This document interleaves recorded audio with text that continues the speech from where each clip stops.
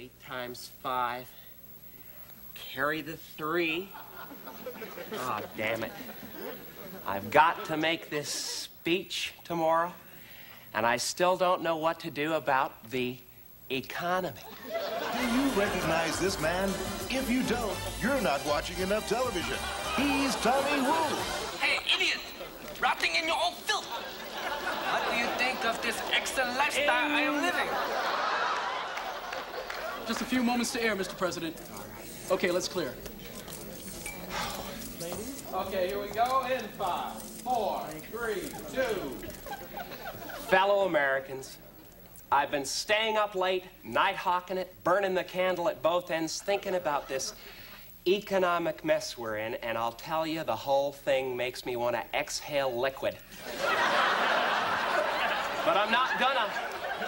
Not this time.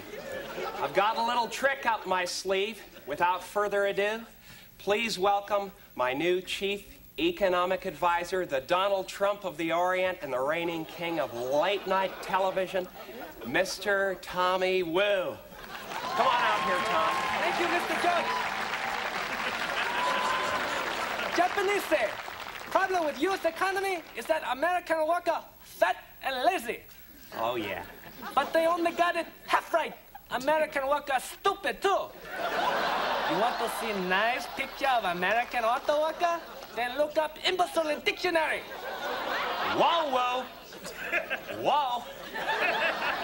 Stick to the thousand points of light. Sorry. Okay.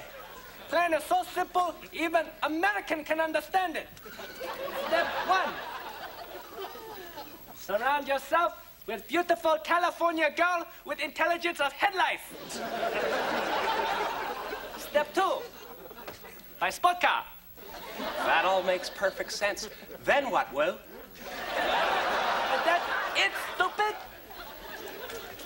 Now, people lend you money because they think you're so damn successful. I know it doesn't sound like much, but I've checked it out, scrutinized it, spanked it, diapered it, kicked it in the pants, run it up the flagpole to see who'd salute. And I'm here to tell you, Tom Woo's plan works. See? After I took the seminar, I picked up this house. No money down. Why can't you do that? And that's not all. President Bush got boat, got private plane. He even take vacation in middle of Gulf War. And I'll tell you another thing. Not every woman I sleep with looks like she just stepped off a $1 bill. Hey there, Georgie's girls. That's right. Since Bush learned secret, no longer people call him Limp Whip. No way, Woo. Not since I bought up five defunct S&Ls for 10 cents on the dollar. And how much a profit you make on those, George? I made 300,000 G's. G's for George. Now why can't you do that? And not only that, but Tommy Woo's plan worked for Barbara, too. Come on out here, Bar. So, if you can read at all, read my lips.